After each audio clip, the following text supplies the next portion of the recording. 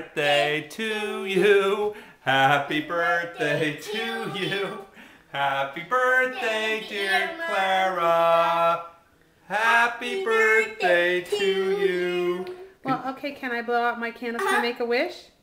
Can you tell which part Bennett put the Uh, this part right here. I like my stars. Are you ready to blow out my candles with me, Bennett? Ready? One, two, three. Wow, that was No, awesome. no, we could. What do you say to me? What do you say? eat, What do you say to me?